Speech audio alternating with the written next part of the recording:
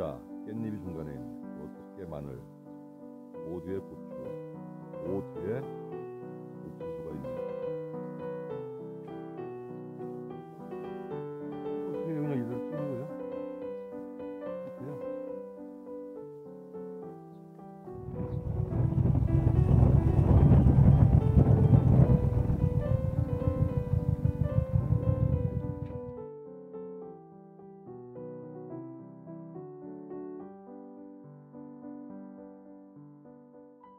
그왜 충효사냐면 네. 김진애한테 나라를 위해서 그 평민이 음. 나가서 싸워가지고 공을 세우셨고 아, 그 부모한테 효도했고 음.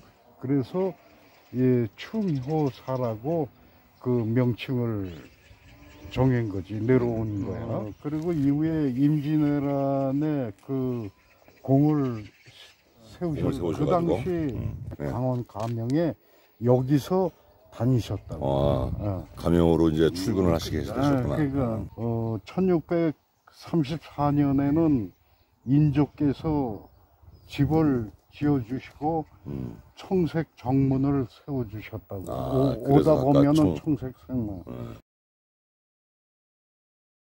그리고 1652년에 4월 23일에 85세로 어, 돌아가셨다고. 음. 어, 장수하셨네. 네.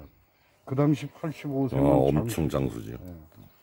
그리고 1653년에 효종이 홍색 정문을 세워주시고 이래서 생청사홍이라는 말이 나오는 이 사당에 음. 전례가 있다.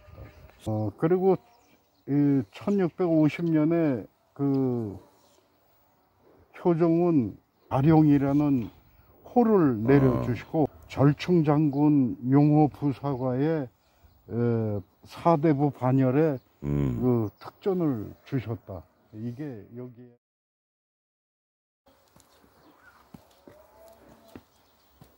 아 나라와 부모에 대한 효가 음. 지극하다. 이래서 하늘이 내리신 저 효자다. 음. 이렇게 칭송을 해서 군 중국까지 음. 크게 그 찬사했다. 그러니까 이게 뭐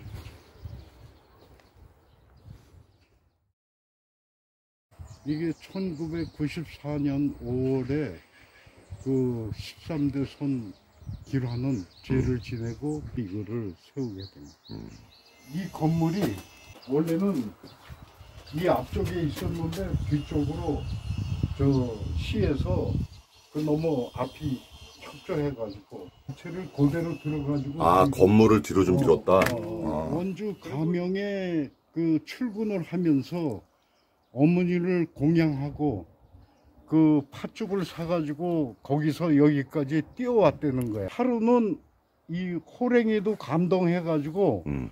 호랭이가 나타나서 그 등을 타고 여기 오셨다. 아. 이런 그래가지고 건물 옆에는 호비라고 그래가지고 호랭이를 하는 그 비를 세웠어. 어. 그 생신 때 헌다라 할 때는 꼭 여기 지내고 저기다가 어. 술을 한 잔 퍼놓고 이런. 호랑이한테. 그래도 방문해 주셔서 고맙죠. 관광객이 오셔가지고 주먹이라도 어떻게? 네.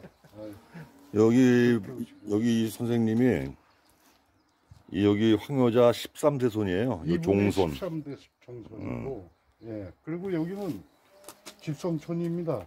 뭐 이제는 어, 외부에서도 많이 들어와 사시지만은 이 고을에 산 지가 500년 됐습니다. 그래서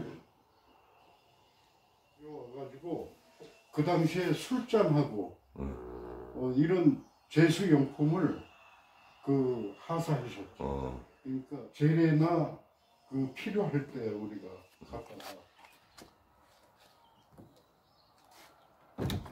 지금까지 그뭐그그 효자에 대한 얘기가 오랫동안 지금 지속돼서 예.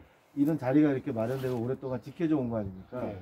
그 오랜 기간 동안 나, 이렇게 남을 수 있는 이유가 있었을까요?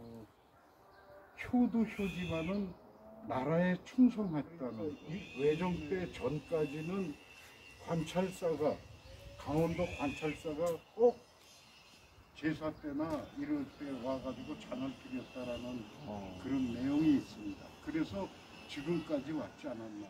그